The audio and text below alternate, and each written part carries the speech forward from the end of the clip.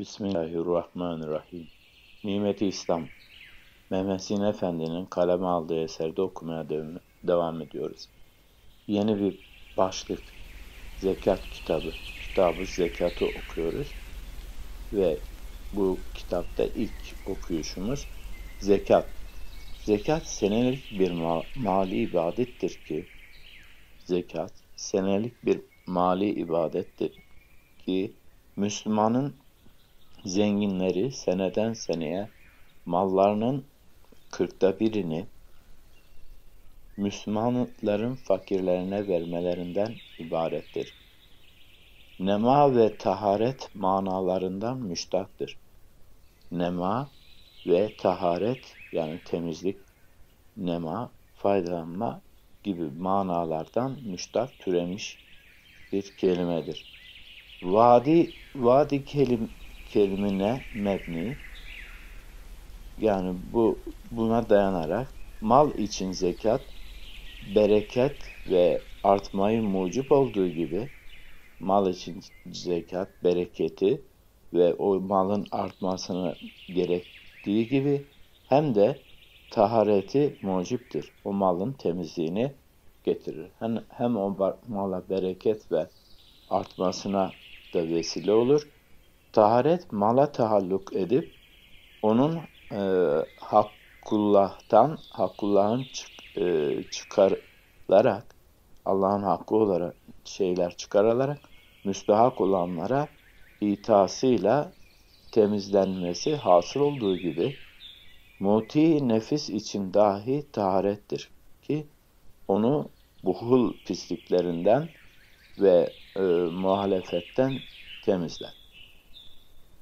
Ayet-i kerimesinde e, sadakat zekattan ibaret olduğu gibi sadaka da zekaretten ayetlerde geçtiği gibi ibaret olduğu gibi kulun ubudiyetteki Allah'a kulluktaki sıdkına delaletten dolayı zekata şeriat dilinde sadaka dahi denilmiştir.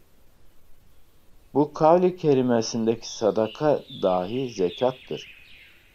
Malum olduğu üzere sevap için hibe edilen yani karşılıksız fakire verilen tem, temlik yani o fakirin mülk e, kılınan mal diye e, tarif olunan sadaka farz ve tatavu olmaktan hali olmayıp yani farz ya da ta tatavu olmak dışında bir şey olmayıp tatavu olan sadaka yani gönüllü, na, e, nafile ibadet olan sadaka belli değilse de yani belli bir miktar e, ve şey tayin edilmemişse de e, buradan açıklanan şu bir hurmanın yarısı dahi tasadduk edilebildiği gibi ve fakir her kim olursa olsun sadaka verilebileceği cihetle tasaddukla e, miktaren tayin olmadığı gibi masrifen